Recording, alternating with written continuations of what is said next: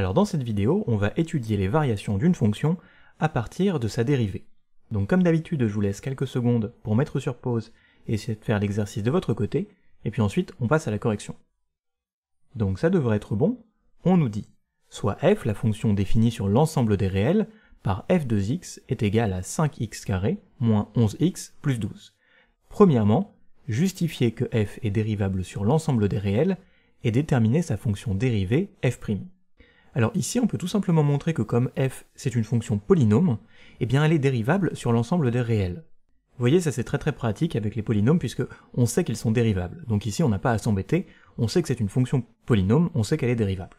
Et ensuite, on nous demande de déterminer sa fonction dérivée. Donc on va appliquer nos règles. On a 5x carré moins 11x plus 12. Alors premièrement, on va multiplier 5 par l'exposant de x et soustraire 1 à cet exposant, ce qui nous donne 5 fois 2, c'est égal à 10, et 2 moins 1, c'est égal à simplement 1, c'est-à-dire x. Ensuite, on fait la même chose avec le deuxième x, on peut considérer que c'est x puissance 1, on multiplie moins 11 par 1, ça donne simplement moins 11, on soustrait moins 1, donc on supprime le x, ce qui nous donne moins 11. Et devant le 12, on n'a aucun x, donc on n'a rien à soustraire, on peut directement supprimer le 12. Ce qui donne pour fonction dérivée 10x moins 11.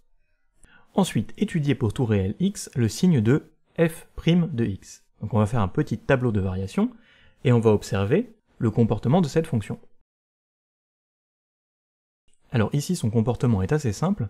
On observe que pour toute valeur de x qui va de moins l'infini jusqu'à 1,1, on a pour résultat un nombre négatif, donc ici moins, et ça va de moins l'infini jusqu'à 1,1, donc à 1,1 la fonction est 0, et inversement, de 1,1 jusqu'à plus l'infini, eh bien on a un résultat qui est positif.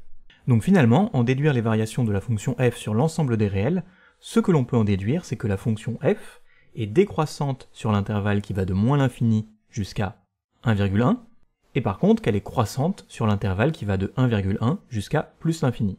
Et on en a terminé avec cet exercice. Donc j'espère que ça aura pu vous aider. Si c'est le cas, n'hésitez pas à laisser un like et à vous abonner, et puis on se voit dans une prochaine vidéo.